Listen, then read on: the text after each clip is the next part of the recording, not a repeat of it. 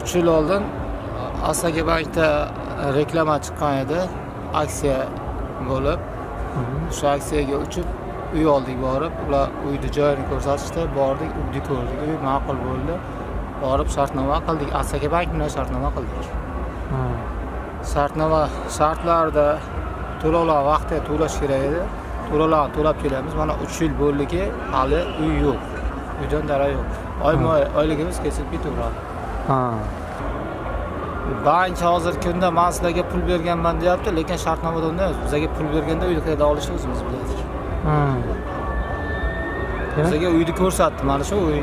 Sizlarga yozda e, o'sha sentyabr oyida olgan bo'lsak yangi yilgacha topshiramiz dedi. Topshirmadi keyin navro'zda topshirmadi. Undan keyin quruvchi qamalib ketdi. Shu bilan hozirgacha uy yo'q bankka borsak uy yo'q quruvchi qamaldi balansga o'tish kerak dedi. Uch yildan beri aldab kelyaptida nima deb murojaat qilganlaringiz nima deb javob qaytaryapti bank hozir g'ujalar yuringda ha. Umuman natija yo'q.